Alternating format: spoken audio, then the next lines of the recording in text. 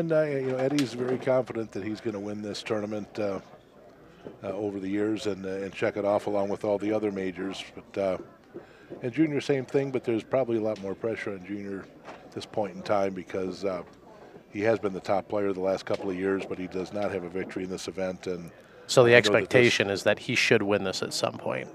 yeah, there, there's definitely a level of expectation for him for sure. And uh, did it with Mike Taylor, and those are the guys that have been number one and two, uh, uh, and, and Kelly uh, over the last uh, 10 or 12 years. But Kelly's Kelly's won a this two, tournament. Kelly's a two-time winner. and- Yeah, two-time winner. That's so- yeah.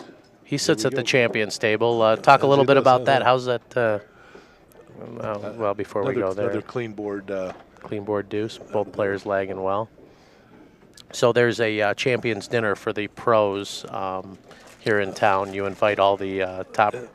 It's actually the previous winners of the pro singles and Okay. doubles, and uh, kind of an idea that was somewhat copied from the Masters tournament, which uh, Champions Dinner is a, is a huge affair there. Okay. Um, when I first started it, uh, I really wanted it to be a singles only because that would have made it a just a even little more exclusive. super elite event. But Sure. uh, the singles was dominated for so long by Bill and Daryl that the list of, of people who would ever won it was so only small it wouldn't have made it much of a dinner, and just some of them needed a four top away. at the, uh, so right. No, that's a great thing that you do for the um, you know for the top players. Uh, you know, a lot of times uh, shuffleboard players are, are punished by playing well because then they have to play better competition and they have to play for more money and The but, expenses uh, are higher and the expenses yeah. are higher. But uh, you know, it's nice that when you get to the top level and you do actually uh, achieve success, that uh, you're recognized for it. And uh, you know, there's there's some uh, you know light at the end of the tunnel, so to speak. some great tra- uh, trash talking after we get a few bottles deep uh, Oh, I into the wine or cocktails. It starts out a little conservative, but by uh, by night's end, Yeah, I'd love There's to be a fly on the wall there'll some uh, chest thumping going on here. well, here we go. In what continues to be a very conservative match. yeah, looks like uh, Junior, uh, Junior was trying to put a shallow deuce up there, but he didn't quite get there. I, and- no, I'm thinking that maybe that's the spot he thought that Eddie wanted to lag into. okay. Maybe even more than shallow deuce, or maybe it was going to either be a shallow deuce in that spot, one. you know, shallow. Agreed. But along the along the track that he thought Eddie might want to lag in, and actually, I, I believe Eddie did come in from just left to center last time, or right across the center. So that that did push him out to a different lane, perhaps a faster one, but definitely a different one. Notice uh, both players shooting hard and uh, tracking the board up there and trying to, uh, you know, fix the uh, fix the dry spots there. That's uh, that's got to come into play later in this game, huh?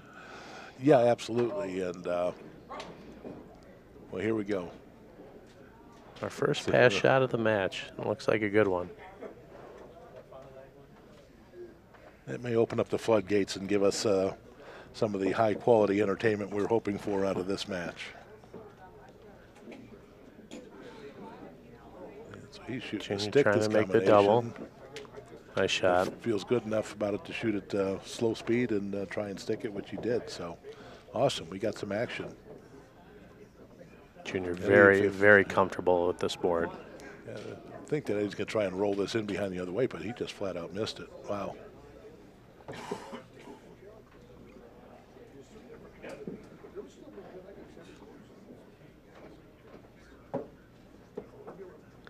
David trying to put some cover uh, on it. Stayed over there. and Actually, it looked like it went to the rail a little bit at the end, based on the way Eddie's Eddie's miss was. It looked like there was maybe more break there than what, what he anticipated.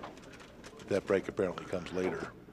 Well, this is Well, a tricky uh, little shot here, but Yeah, I, uh, I would think if you're going to try that, it's going to have to be some kind of firm speed. That's wow.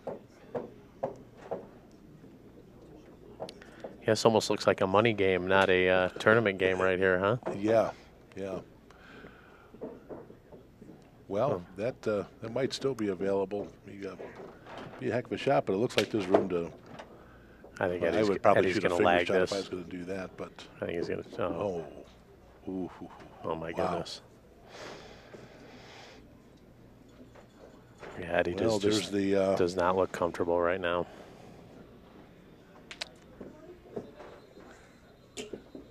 That'll be uh, obviously uh, tough to recover from this game. I've seen stranger things happen, but uh, Absolutely, and you know, really, at, at this point in time, you know, you're not. You, chances are you're not going to have a five or six or seven point frame off a junior. Wow. You just got to make sure you lag a three right here. not when he throws the first one off. I mean, he throws the first one off because uh, what he's playing defense, right? Yeah, he's he's not going to give uh, any chance for there to be a weight on the board that he could get around, and he'll just hit Right, this and try and gonna go probably. Uh, he didn't, so I'm expecting Eddie to probably bump this or set right on top of it. Can't tell how, quite how deep it is yet. Looks like a middle deuce. It's kind of what I was thinking. Oh, yeah, not he's, even uh, a, he's not gonna, even he's gonna want to Yeah, bump that then. tap that up. Yeah, or flat out go around it. Yeah. All right. Well, he would have preferred that the blue weight stay on the board, but at least there's a deuce there now. Junior's got to cover it up, and uh, if he doesn't, Eddie's given himself an opportunity to stick it, pass it, something. But when you're behind this much, you know you really need to have some weights on the board, and th- there's an opportunity. If he hits this and makes a good shot and rolls in behind it, and potentially he gets a hammer with two working. No, he's going around it. He must Yeah. like that pass shot. Well.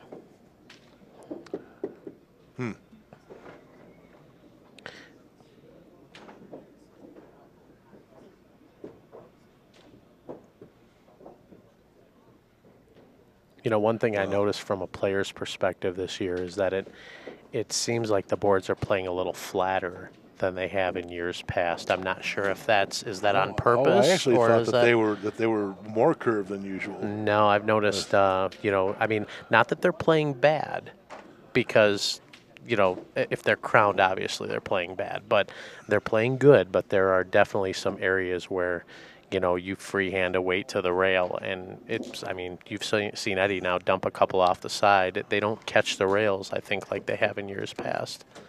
Uh, we we keep them set at pretty much the same, uh, twelve thousandths low center in the middle and fourteen thousandths over the next set of legs and sixteen at the ends, Okay. which, which is not a lot by by tournament standards. I've always wanted uh, for this tournament for people to have to really make a high quality shot to make a pass shot. Some boards are too automatic for my taste these days, but with the climate here, you know, they do get flat. As the week goes on. ev- every- we, we actually adjust these at, at least every other day. okay. So as so the week goes on, they flatten out more than. Yeah, if you oh yeah, much more than than uh, most places because of the desert environment. Okay. Um, Weather is weather doesn't really affect tables as much as the the humidity, which tends to be more of a constant condition. So. Uh, out here in the desert, uh, if we took these tables out of storage where they're in a very high humidity environment, they're probably 40 thousandths of an inch low in the center versus the sides. And if we just let that board sit for the couple weeks that we're out here and didn't do anything with it, it would be easily 40 thousandths high centered by the end of the week. It would move that much. wow. So we go through at least every other day with the gauges and bring the Bring out the wrenches uh, and. and yeah, get them back up to to where they're supposed to be.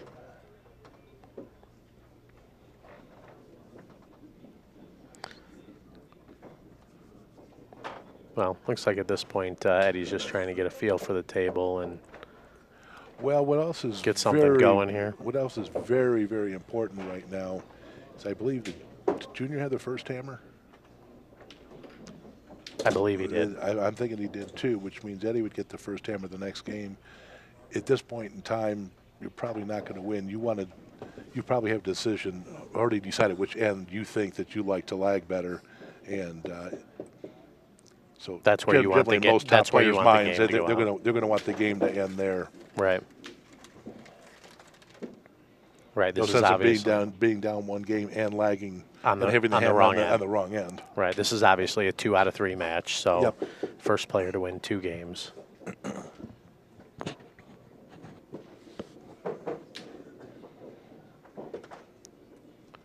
So David's just going to play a good, safe uh, defensive game here. Being on 14, he just needs one point to go out. Yep. So he'll be hitting everything hard, uh, making sure he doesn't stick any of the weights. Might stick that in it because he's thinking he can't get in trouble, which is always a dangerous thought.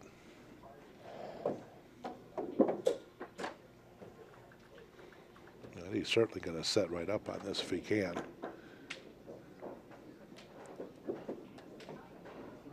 Meaning he's going to be either touching it or just short, or Or wow. That's just o- ordinarily in that situation you'd see someone put one basically up there touching it if they could, and I uh, think give that was his fourth. chance to. Uh, that was his fourth weight, so he was probably going to try to stick okay. it. He obviously doesn't have a good feel for the board right now, so Junior probably lags off more than anybody in the game, and he'll tell you that. But that's because he's pushing for threes and fours all the time.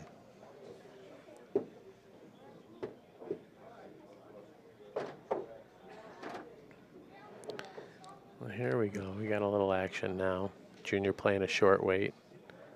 Eddie going around it.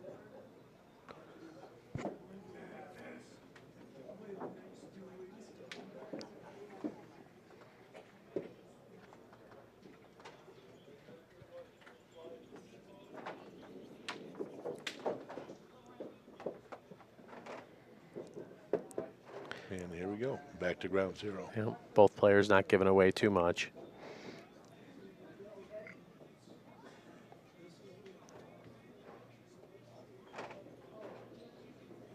That looks to be a small deuce. i Guessing Junior would love to have one there on his last weight. Well, right now Eddie's saying to himself, "I'm down one leg. If I leg Yep. a deuce, I'm tied. If I leg a three, I'm in the lead." Yeah, that, that's a spot that you never really want to stick that weight. Um, maybe if it's 14-14, but you don't want to give a guy a chance to stick a weight back Right. that, that's, that's that close to a deuce. Either want a clear board or something back of there. There was just no advantage to sticking that weight for sure. All right, hammer coming. Looks like the speed's good. It's gonna hit A that. Oh, I think he might have been aiming for that dry lane there and thinking that it was gonna pull up. And this is about where the uh-huh. game got away from him last game. You know, he was, I think he was down five to two, and then all of a sudden he was down ten to two. So, you know, this is a critical point in the game where he can't let this game get away from him. He's, uh, you know, he's got to do something to get back in this game. Which, you know, he's still only, like I said last frame, one frame down. Um, like yourself for two or three, we're all good. Um, You know, and, and obviously the the professional level players rely on their their hammer and their leg, and uh, we haven't seen a whole lot of lagging with the hammer in, in, in this match. So, you know, I wonder if it's just uh, you know maybe the Well, players not uh, you know, first match of the day. You know, they've been sitting around, yeah uh, you know, since this morning. So generally, plays not quite as uh, quite as good. First match of the day, but um, this it's really, you know, th- this has been a pretty close match, except for one frame that you know really, blew the last game wide uh, open.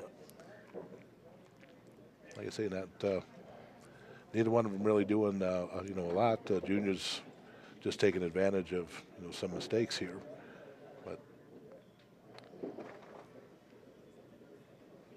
well, he scored, but that's that's really not what he was uh, hoping for there. No, he's hoping to get a deuce or a three there to get this game a little bit closer.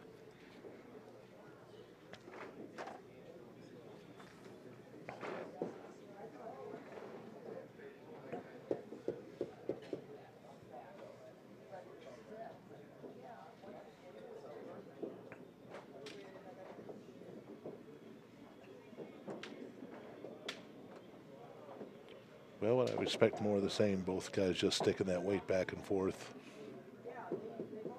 If that happens, Junior probably well, we'll never find out.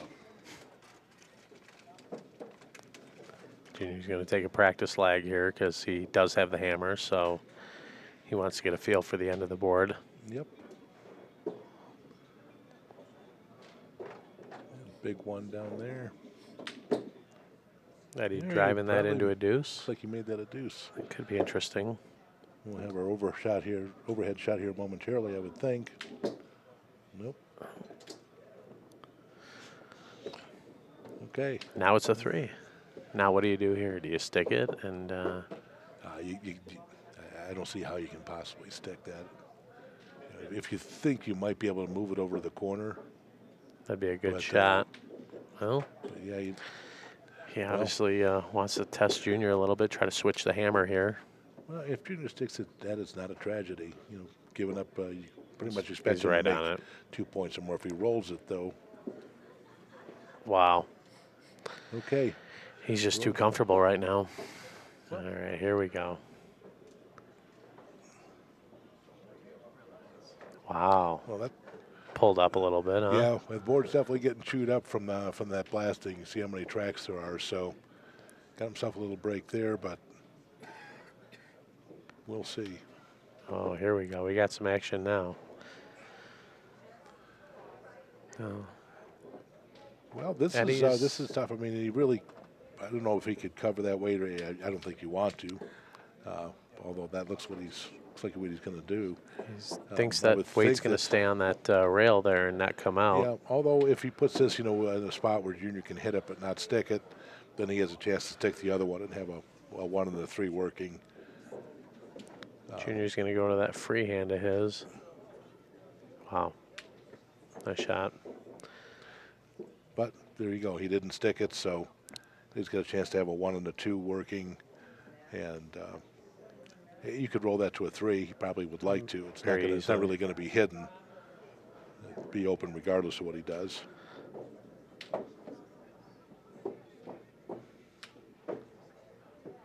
But that, that's a good spot there because if Junior sticks it back, then Eddie's got a lot of room to roll it. I think he wanted to move it the other way, obviously. Uh, well, I don't know if he did or not because even if he does, it's going to be wide open from all vantage points from Junior. That that back weight is too far back for it to really have been hidden behind. I, I think that Eddie might have wanted to go over there. Give him a little different look than what he's Yeah. seeing.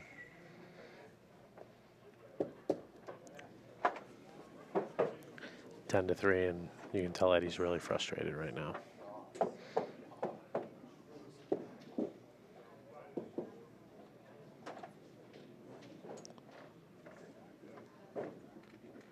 Match he was hoping for uh,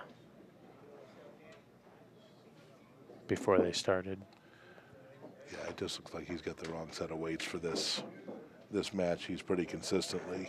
Yeah, they're either trickling off or uh, pulling up uh, right around that uh, Shuffleboard Federation logo. Yeah, and even that one, I don't I don't think he let that that one shot that pulled up there just didn't look like he let it go right. And the rest of them really don't look like bad shots. They, uh, his weights just look like they're too fast. Yeah.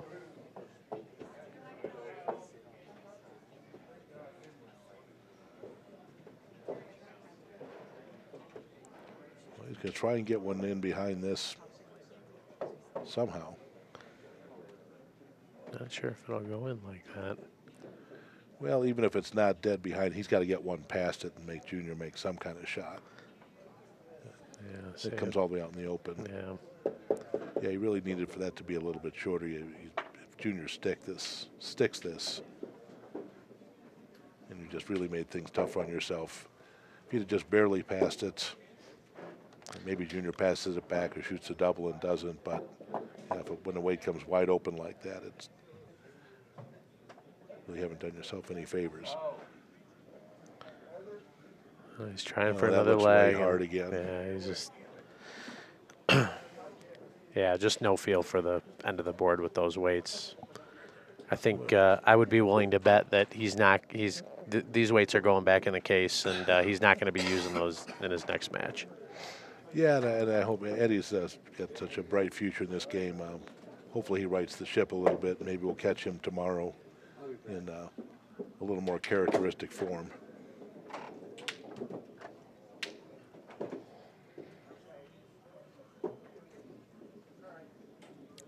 And so you have a match coming up in the next round. I do. Uh, do Uh, you know who you play yet? Yes, uh, Dave Dickerson Jr., uh, good player out of Nebraska. Uh, I remember when he was a uh, Division three player and uh, coming up the ranks with uh, one of our locals, uh, Jessica Williams and uh, James Sanchez, and, and some of our our uh, local players out of uh, Detroit, Michigan. So yeah, I remember uh, when he was coming up the ranks, and uh, he's turned into a solid player, very good player. It's kind of cool. He was uh, like yourself. I remember him when he was a three, and then he went. Uh, he was away from the game for a number of years, and uh, started back playing uh, seriously on a regular basis, and Yeah, he's became a, became a good player. Definitely. Uh, yeah, he's got some game. Uh, had some good mentors, I'm sure, along the way. Jim Payne, um, you know, worked with him a lot. Um, you know, and some other some of those uh, other good Midwest players. Some of those. Uh, I don't want to say underrated uh, Nebraska players. No, Uh, no. Well, they're all underrated, I think. Yeah, Misra- right. Misrated, underrated. yeah, that seems to be uh, De- definitely one of the hotbeds for shuffleboard. agreed.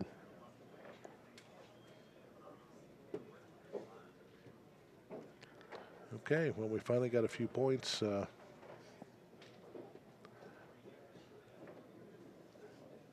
Yeah, all you you know, this is. Uh, David's all- pretty all much in control of this match. I All mean, you're doing is fighting for frames here. Yep. You know, you're thinking if I can get one more frame, steal a hammer or hold on to one.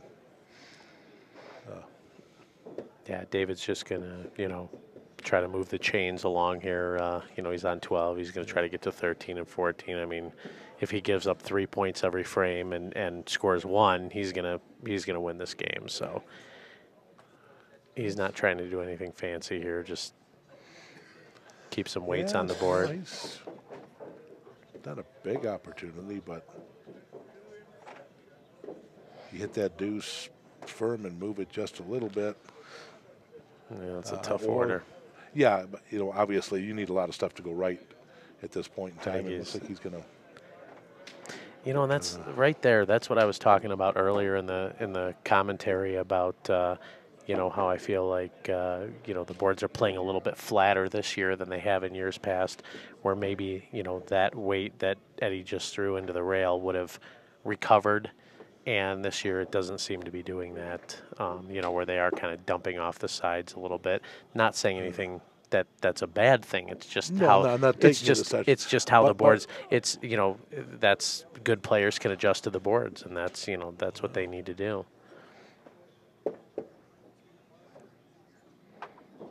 Yeah, if you're hitting the rails early, you know, in, the middle uh, four or five feet of the board, you know, that's only 12 thousandths high in that area. So there's uh, there's not going to be a lot of snapback